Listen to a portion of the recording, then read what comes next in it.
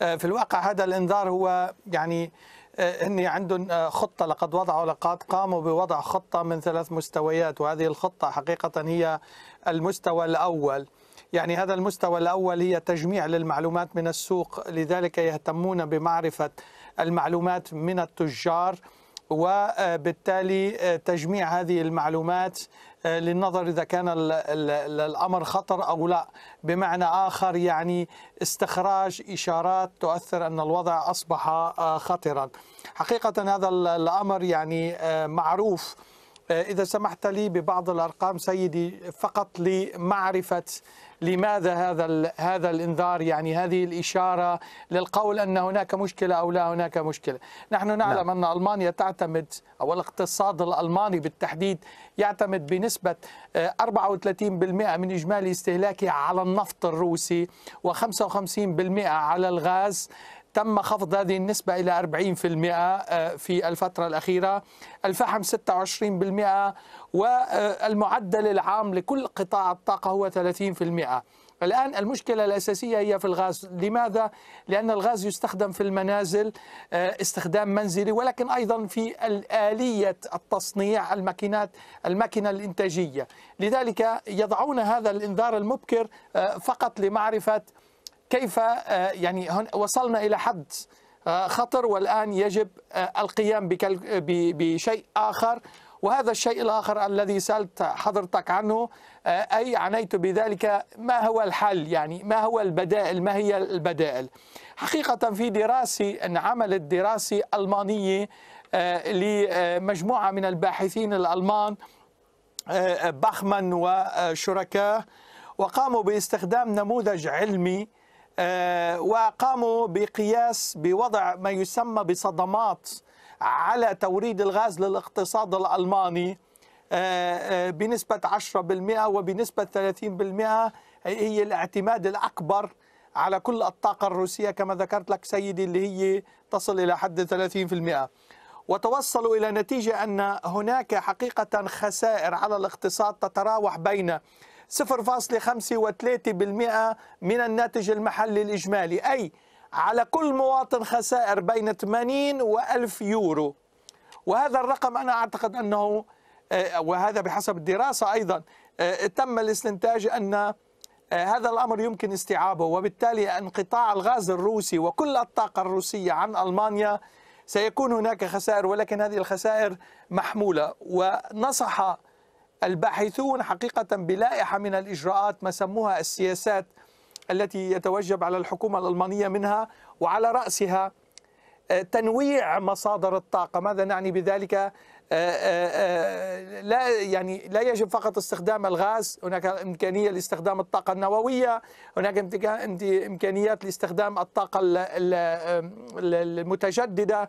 ثانيا ولكن كل كل هذه يعني الحلول بروفيسور جاسم ربما تحتاج إلى مدى زمني، الطاقة النووية أيضا تكلفتها ربما هي تكلفة عالية وتعادل خسائر استخدام الطاقة النووية. ما ستخسره أو ما سيخسره الاقتصاد الألماني. ما أريد قوله هل هناك حلول عملية لهذه الأزمة؟ هل يمكن أن تصر برلين على عدم الدفع بالروبل وتخسر الغاز الروسي أم هذا هذه عملية انتحارية بالنسبة للاقتصاد الألماني لا أعتقد سيدي الكريم أن هذه العملية انتحارية، أنا يعني لست مقتنع بهذا الأمر لأني كما قلت لك سيدي يجب القبول بفكرة أن هناك ارتفاع في الأسعار خلال فترة معينة. وسيدي الكريم هم بالتحديد قالوا نحن نستطيع الاغتناء أو الاستغناء عفوا كليا عن الطاقة الروسية بحوالي تقريبا نصف العام 2024 نصف 2024 يعني هم قادرين كليا على الاستغناء عن هذا الأمر باستبداله بالغاز بالغاز بالغاز والنفط بالنفط. أنا أعتقد سيدي الكريم أنه يمكن تقصير هذه المدة لعدة أشهر. نعم يجب القبول. وهذه من إحدى التوصيات التي قامت فيها الدراسة. يجب القبول خلال فترة معينة بارتفاع بالأسعار ويجب القبول بفترة معينة بالتخفيف من الاستهلاك على الصعيد الوطني. وهنا نرى أن حتى المسؤولين الألمان بقوا يعني بدأوا يدعون آه، المواطنين إلى التخفيف من الاستهلاك إذا لم يكن هناك من حاجة. وأيضا في الشق الأخير من هذه التوصيات هناك دعوة آه، واضحة حقيقة لمساعدة العائلات الفقيرة لتخطي هذه المرحلة من ارتفاع الأسعار لا أعتقد نعم. أن الأمر انتحاري هو صعب نعم صعب جدا نعم. ولكن يجب الانتباه أن الألمان لن يقبلوا بالدفع بالروبل لا هم ولا الأوروبيين لأن هذا الأمر فيه خرق للعقوبات ولكن أيضا هو تعويم للروبل الروسي وبالتالي تعويم ل الاتحاد نعم. السوفيتي بالنسبة لأوكرانيا. الاتحادية. آه، بالنسبة لبولندا وما اعلنه رئيس الوزراء البولندي. بولندا تعتمد أكثر من ألمانيا. 50% من الغاز يعني يستورد من روسيا. 60% من النفط الذي تكرره أيضا قادم من روسيا. الخطة الراديكالية التي حسب وصف رئيس الوزراء البولندي. نعم بالنسبة لبولندا نعم سيدي الكريم هناك 54.2% اعتماد على الغاز الروسي مقارنة بألمانيا كما ذكرنا يعني آه، أخفضوا النسبة آه، إلى 39.9% آه، نعم حتى حتى بولندا قالت أنها بأواخر هذا العام ستستغني كليا عن عن الغاز الروسي.